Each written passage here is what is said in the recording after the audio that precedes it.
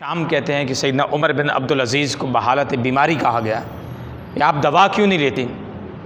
तो उन्होंने फरमाया, जिस वक्त मुझे जहर दिया गया था, अगर उस वक्त कोई शख्स ये कहता कि आप अपने कान को हाथ लगाएँ या खुशबू सूंघने से आप ठीक हो जाएँगे तो मैं ऐसा ना करता। फिर उबैन बिन हसान वो कहते हैं कि जब आप करीबुल मर्ग हुए तो आपने सारे लोगों से फरमाया कि मेरे पास से दूर चले जाओ। करीब न मेरे को रहे तो सारे लोग दूर चले गए।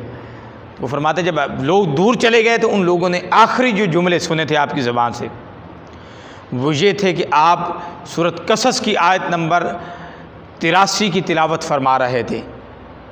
तिलकदारुल आखिरा, कि आखरत का घर। फिर फरमाते हैं कि इसके बाद कोई आवाज़ नहीं आई। तो हमने जाके देखा तो आपकी रूह परवाज़ कर गई थी।